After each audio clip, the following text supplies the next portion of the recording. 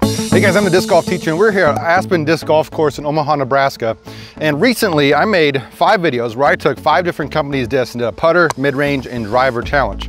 Right, then I decided that the Luna, the Iron Samurai, the MD3, and the Destroyer went the furthest of all three, or all five of those different companies. These were the three discs that went the furthest. So today we're gonna play nine holes using just these three discs. Okay, it's pretty windy here. It's about 15 to 20 miles an hour. Um, so don't judge me on some of my shot shapes that I do with, uh, with these discs. That's all I got, all right? Also, let me know in the comments below. Would you be more infuriated to have a sign on the tee pad or to have a sign right behind the tee pad? We have both. All right, starting off on hole one, it's a 267 foot par three, kind of right in front of you, but you got to hit this late gap right before the basket. All right, I threw the MD3 on this one and landed about, oh, 15 feet away or so.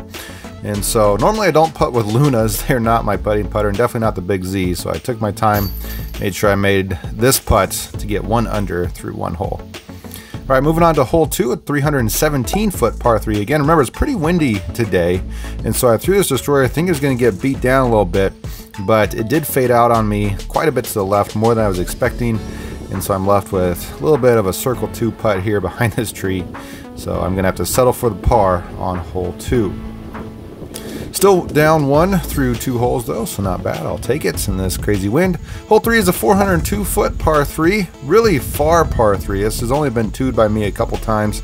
Again, there's um, a few gaps you can hit off the tee, but uh, doesn't leave you too much. I got down here quite a ways, and again, circle two putts, just missed it a little bit long. So again, I'm gonna have to settle for a two, but in this crazy wind, I think I'll take that, especially shooting with only three discs. So one down through three let's move on to hole number four, which is a 366 foot par three. Again, um, you got to hit this kind of late gap, and I did not do it. We got right to a left crosswind, and I hit that tree on the left side because my disc got pushed that way.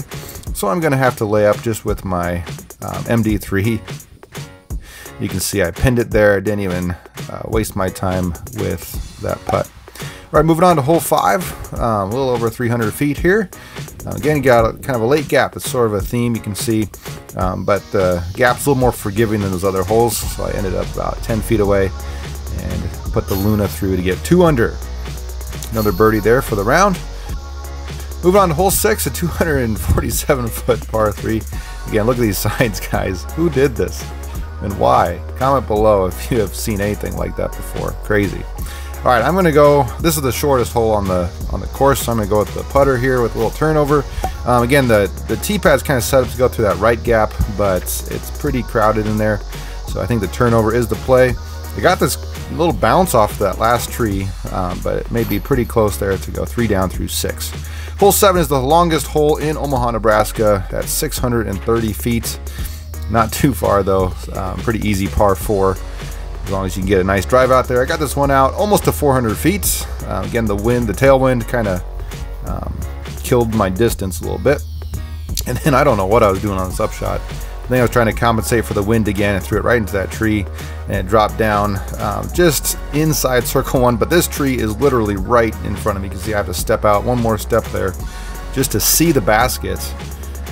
And I give it my best effort, but I come up just a little bit short. So we're going to take uh, four on this par four and still down three through seven. A little upset with myself on that one. All right, hole eight is 458 feet. Again, quite a pump. This is going back the other direction into the headwind. And so I don't really have a shot to get there. I'm probably just going to play for par in these last couple holes, especially using three discs that you know, I don't have my full bag available to me.